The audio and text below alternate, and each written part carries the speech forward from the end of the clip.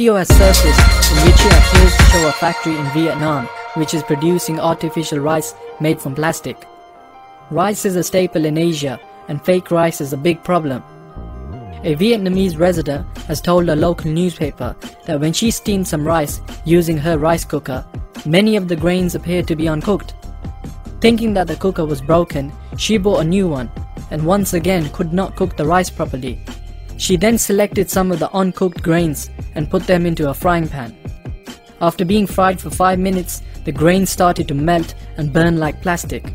She said plastic rice may have been mixed in with the rice batch. This isn't the first time a video like this has been found. Throughout the years, fake rice made from plastic and other materials has been found in Singapore, Indonesia and India. Recently in China, fake plastic rice was found in packets of some of the country's most popular rice companies.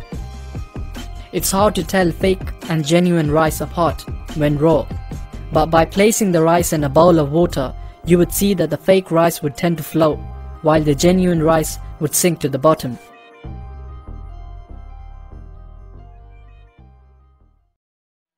This rice has been in Carmencita Green's home for three weeks now, but it hasn't spoiled.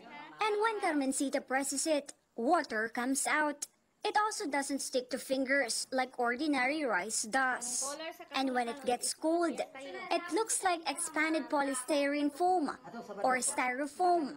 And when it's burned, it smells like sweet potato.